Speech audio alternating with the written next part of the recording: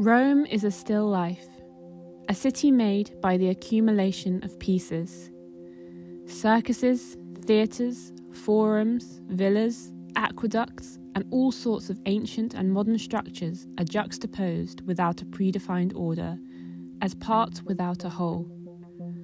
These singular forms establish relationships with one another and with the landscape, exposing a tension between the cosmological dimension of the land and the becoming of human life. At the same time, each element gives form to a collective ritual, thus materializing the social, political, and economic structure of the city. The project critically addresses and reinterprets the paradigm of Rome, testing its relevance as a conceptual and operative device in the contemporary condition of endless urbanization. The project reclaims the crucial role of architecture in imagining and giving form to the idea of the collective if the city is conventionally understood as a system of spaces that we recognise for their functional and programmatic organisation, the project proposes instead to construct a different horizon for the architectural practice by using architecture to reimagine the form of living together. The proposal, Rome East, a city of collective rituals, elaborates a series of projects focusing on the eastern sector of Rome.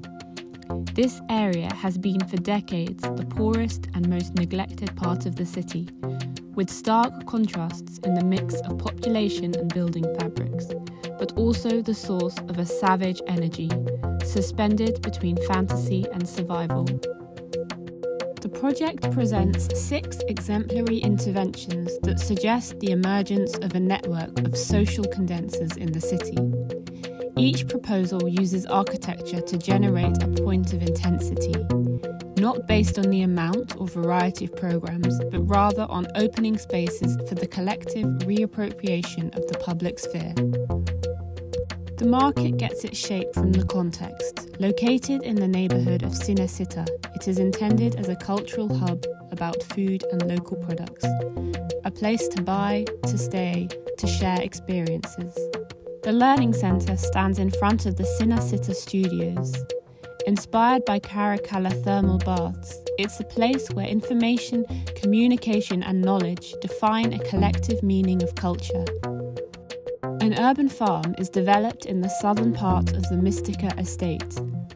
Food production coincides with social initiatives in a new form of sustainability.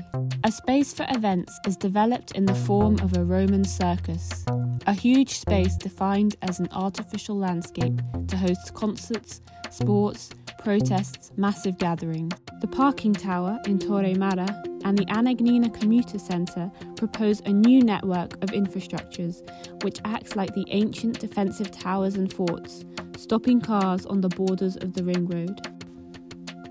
These architectures mediate between the physical elements of the landscape, its morphology and infrastructure, and the ephemeral nature of collective rituals through which a common ground of shared values is established.